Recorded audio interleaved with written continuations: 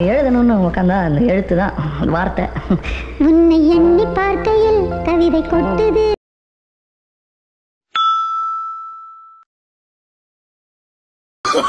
Oh, no, no, no, no.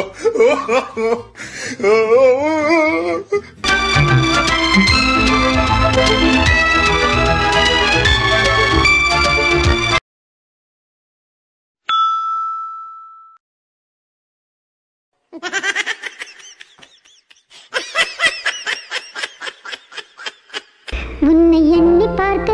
கவிதை கொட்டுது. அதை. எழுத நினைக்கையில் வார்த்தை